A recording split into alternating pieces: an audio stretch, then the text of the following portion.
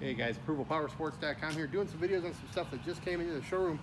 Check this one out, 2011 Ultra Classic for sale.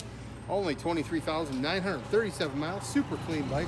Got a chrome front end, chrome levers, chrome intake, and a dual Rinehart exhaust that makes this thing sound great, guys.